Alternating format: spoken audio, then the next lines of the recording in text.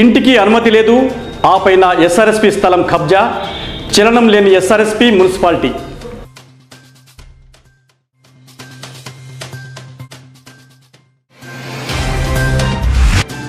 పందుల దొడ్డిగా తయారైన పెద్దపల్లి కూరగాయల మార్కెట్.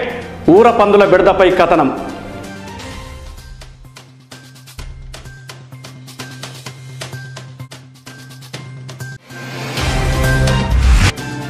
చదువుకు దూరం అవుతున్న ఎస్సీ బాలికలు వసతి గృహం నిర్మించాలంటున్న ఏఐఎస్ఎఫ్ నాయకులు.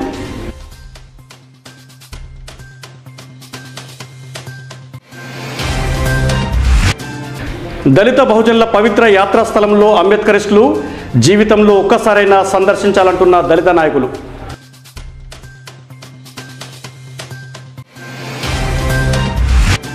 పెద్దపల్లిలో కిరాణా షాప్పై టాస్క్ ఫోర్స్ పోలీసుల దాడి.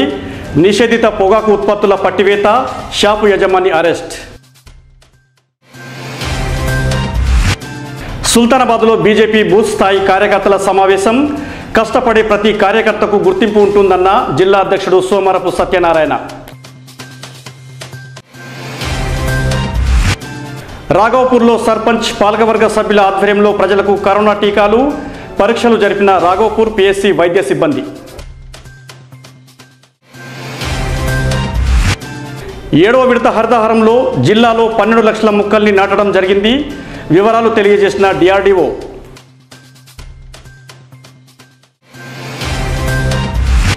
విద్యుత్ సంస్థలపై కేంద్ర సర్కార్ నిర్ణయాన్ని నిరసించిన ఉద్యోగులు భోజన వేళలో నిరసన కార్యక్రమం.